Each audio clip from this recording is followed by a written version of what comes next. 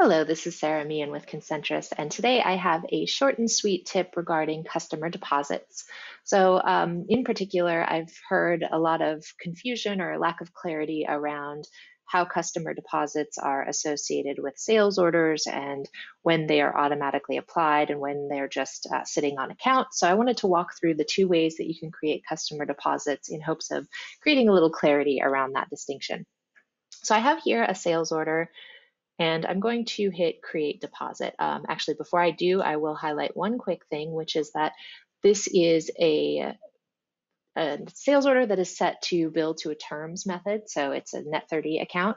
If I have set a payment method, say cash or a credit card, this create deposit option will not display. So just keep that in mind if you are seeing something different in your account. Um, you're not seeing this button, that might be why.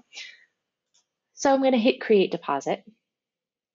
And in this instance, I'm going to apply a partial deposit. So this customer is paying partial payment ahead, and I want it to be auto applied to the invoice when it's generated. So I'm going to enter my partial payment.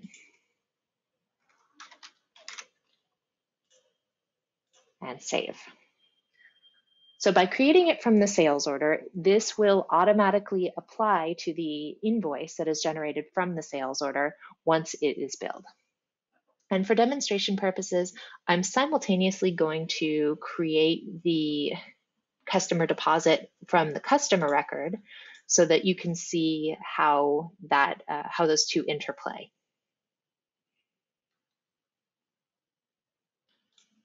So I'm going to select my American Food Distributors customer.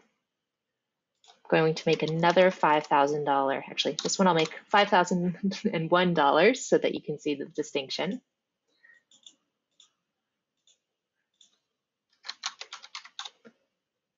And save it.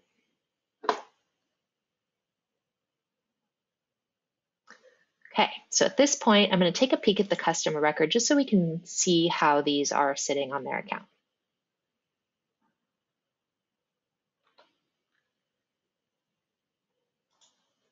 So if I look at their transactions, I can see, I'll sort by date, and I should see two distinct deposit records in their account once this sorts. Okay, so I have two customer deposits, my first one that was associated with the sales order for $5,000. My second one that was just placed on the customer account for 5001 If I look at their financials, it looks like they have an, an old balance um, and a deposit balance too. So here's their deposit balance of $10,001.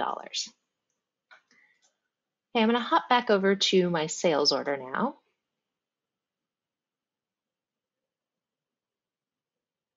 And in this tab, um, I'm going to fulfill it so that I can bill it out. So I had previously created a fulfillment. I'm just going to mark it as shipped.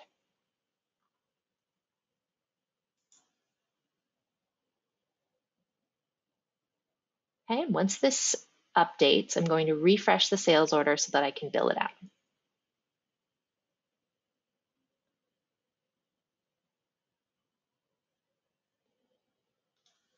Okay, I'll reload this.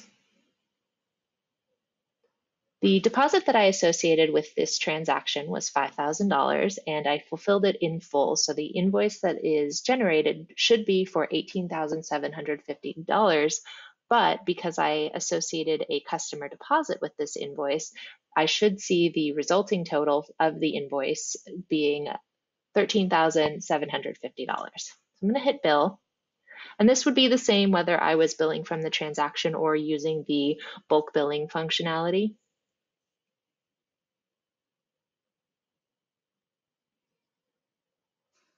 Okay, so once this loads, I'll see my total, which is the full $18,750, just like I expect. And then I will hit save.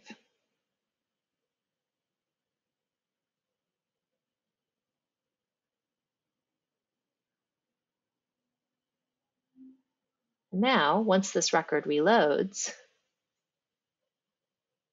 my amount due is only 13,750 because it auto applied that $5,000. So I can look here at my related records. There's the deposit application of $5,000. So that's exactly what I expected to see based on applying the $5,000 at the sales order level. So what about that $5,001 that I created independently? In order to apply that, I actually have to process a payment. So this is really the, the point of distinction. If I create it from the sales order, it will auto apply.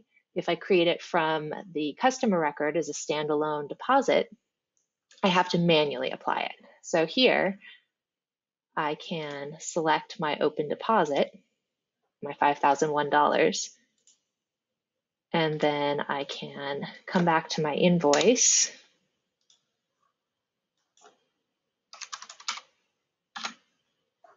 and apply this deposit. So now I'll save this and my invoice total will be further, or my invoice amount due will be further reduced by another $5,001, but it was a manual process.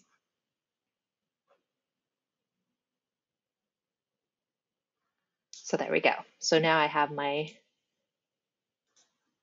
two deposit applications, one of which was done manually, the other of which was associated with the sales order and applied by the system automatically.